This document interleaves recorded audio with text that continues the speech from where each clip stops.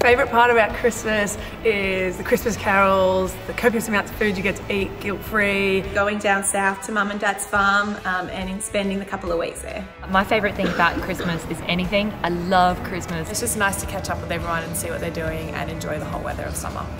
Or the get-togethers, um, having time with friends and family.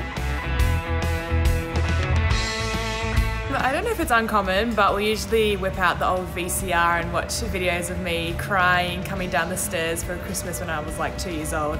I'm trying to start a tradition in the family. Last year we had ugly Christmas shirts, so I think that's going to be the theme from now on. The property next to us is a circus, um, which is really random, but we'll go down there for Christmas Eve. So I guess we go to the circus on Christmas Eve.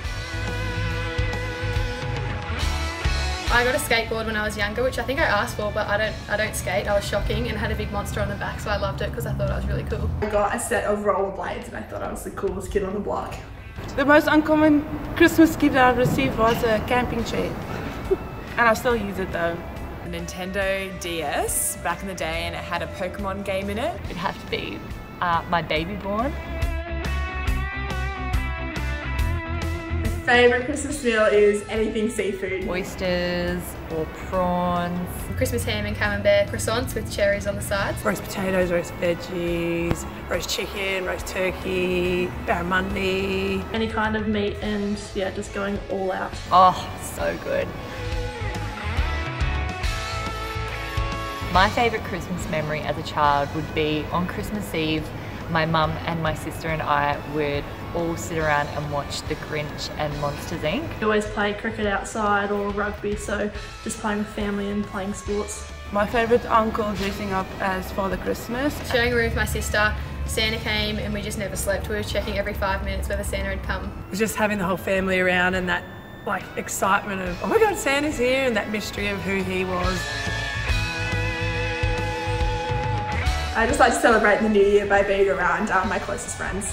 So I like to celebrate the new year by going somewhere fun. Um, last year I was in Sydney, but this year I'm going to Amsterdam. I like my sleep, so sometimes I struggle to make it to midnight, so that's always an achievement. Getting to the beach, getting in the water and just relaxing a bit. I like to celebrate the new year pretty quietly, um, yeah, just around family and friends um, in a small hometown.